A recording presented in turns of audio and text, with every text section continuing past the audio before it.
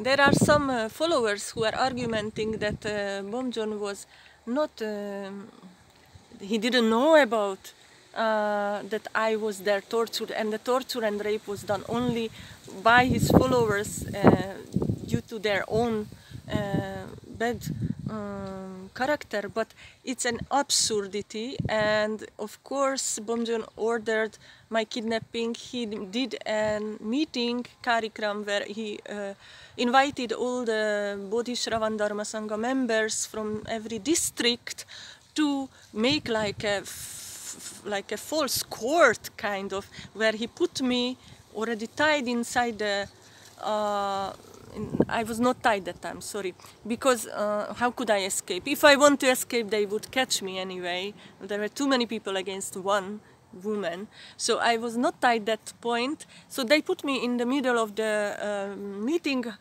house, meeting room, and uh, they didn't give me a single possibility to speak out or defend myself. They, he accused me in front of this Bodhi Shrawan Dharma Sangha that I was a witch, CID agent, Masani, and uh, disturbed his meditation by simply existing, simply being me. Because I lived in Simra town already those, those times. And so it was in front of many people, and Bomjon was there. And so many people have heard if you ask if there was an, at least one single honest person in Bomjon's Sangha, but there is none, they all lie.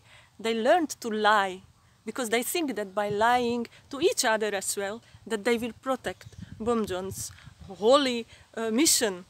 But uh, anyway, so um, everyone knows, the, the most elite people know that it's not the activity of Bomjon's followers that I had been kidnapped, tied, tortured, chained, raped, everything in Bomjon Sangha you can see in the videos, pictures, everything is uh, arranged by him, everything is ordered by him. There is no individuality, no individual decision because if any has any individual decision, that person would end up like me because I was a person, I don't say rebel, but I didn't bow to him to the ground with face like everyone else. I, I wanted to keep my own uh, dignity and I want I supported him I loved him but I did have another guru already when he was not born even. So uh, that's why he was uh, he wanted to destroy me and demoralize me because he didn't he doesn't bear people who would just decide um, on their own that let's do this or that for this or that person. No, no, no. Everything is in Bomjon's hands. And of course, uh, I am chained in that jungle near his villa. Uh, you call it Kajoppa. If you are a follower of Bomjon, you know what I speak about. No one else was allowed to enter to that compound only people who had been appointed by Bomjon. And come on, every second, third day sometimes, uh, Darshan Subalimbu and uh, Tomek Tanovsi came there, near the Kajokpa villa where I had been tied, and they were bringing sticks, come on, not natural sticks, sometimes plastic, rubber, they were changing the material of the sticks. I don't know why. Uh, this is also psychopathic mm, behavior. And uh, they were beating, torturing me. And not that, not just them, other followers were coming. The monk who were uh, painting uh, Bomjon's uh, Maitreya pictures, he was also coming with Buddha Lama, another young monk, to torture me.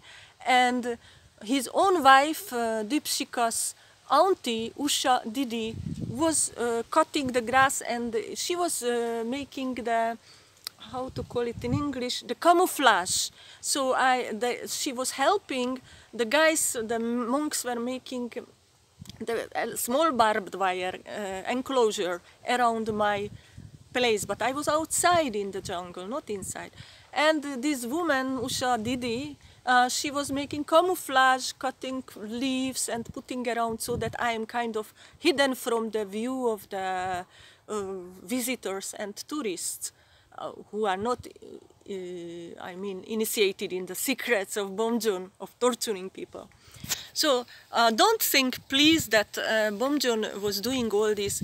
Uh, I mean that the followers of Bomjon were doing all this against Bomjon's wills. No, no, no. Everything was ordered, uh, elaborated by Bomjon, and they were they were never doing, never answering me my questions because first they had to run to Bomjon and ask him if they can answer my question.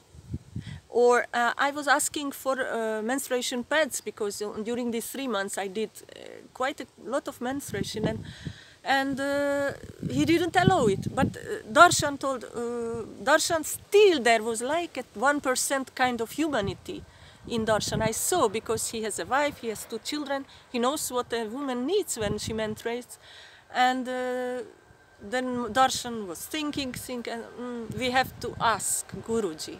And Guruji didn't allow me to use the pads. So I had this uh, shawl, big shawl, I bought it in Birganj, beautiful shawl.